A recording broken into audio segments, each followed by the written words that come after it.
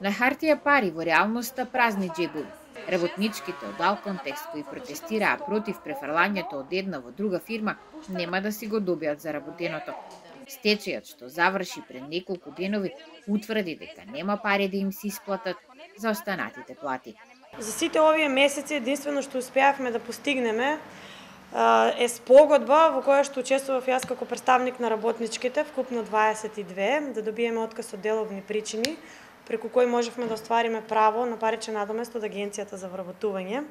Работничките се разочарани од молкот на институциите. Чекајќи одговори, некои остварија право на пензија, другите си најдоа нова работа. Само пензија улезе без испратени, без една плата цела, како работне, цел месец работен, динар пара не ми дадоа.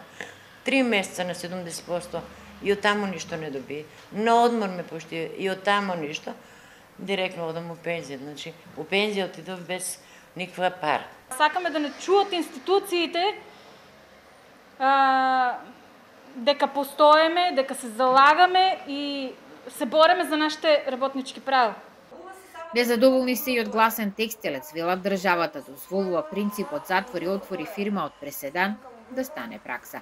Она што ни останува во овој момент е да очекуваме основното јавно обвинителство, а согласно нашите пријави, значи прекршени право од работен однос, прекршени право од социјално осигурување, потоа имате да ги проверат на одите за лажен стечај, за злосторничко здружување, за, за оштетување на доверителите, бидејќи тие се вистинските доверители.